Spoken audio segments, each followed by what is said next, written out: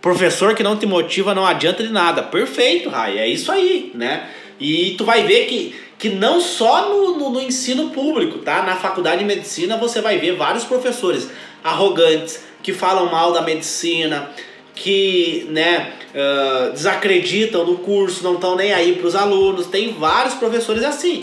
E da mesma forma que tem professores fantásticos, tem professores incríveis que amam a medicina, que dão aulas incríveis, tá? Que uh, aulas assim que você fica, meu Deus, cara, que maravilha de aula. Mas tem professores ruins, entendeu?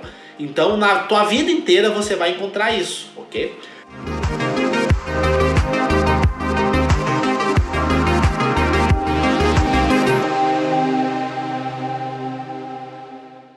E graças a Deus hoje nós temos a internet, tem cursinho online, aí tu pode escolher, né, qual professor tu quer que tu quer assistir, né? Então, por exemplo, daqui uns dias aí o Estratégia Vestibular vai estar lançando o Estratégia Med, né? Eu provavelmente vou assinar o Estratégia Med.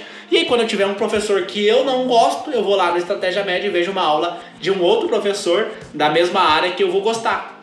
Então a internet ela possibilita hoje, né? Pessoal, hoje com a internet tudo é fácil, né, pessoal? Hoje as coisas ficaram muito mais fáceis com a internet, né? Com o advento aí da internet e do cursinho online, né? Por exemplo, né? Tu pega lá um professor de história, teve um professor top de história, um professor assim excelente de história. Cara, tu vai tender a querer também ser um professor de história, porque tu viu o cara dando uma aula top, né? E aí tu, pô, quero quero ser essa pessoa. Que nem eu, na faculdade de medicina, os melhores professores, assim, ó, sem dúvida, sem comparação, os melhores professores que eu tive foi um professor de neuroanatomia, que ele é neurocirurgião, um professor de neurofisiologia, que é que ele é neurologista, e um professor que deu dependências químicas, que é psiquiatra. Foi os três, assim, ó, os três professores, os melhores professores que eu tive na faculdade de medicina foram esses aqui até então, tá? Sem comparação. E aí, qual área vocês acham que eu vou querer seguir? Né, eu, eu tô em dúvida ainda, né? Se eu vou pra neurocirurgia, se eu vou pra neuroclínica, que é a neurologia, se eu vou pra psiquiatria, eu tô em dúvida ainda, tá? Mas vai ser alguma dessas, dessas áreas aí, tá? Por quê? Por que, que eu quero essas áreas, né? Por que, que eu estudo muito mais essas áreas? Porque eu tive professores na medicina incrível. Então, isso, pessoal, acaba influenciando, entendeu? Acaba influenciando para você fazer a sua escolha.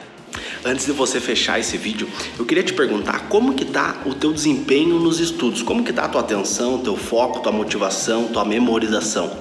Você tá satisfeito com o seu desempenho nos teus estudos ou você tá achando que não vai conseguir passar em medicina estudando dessa forma?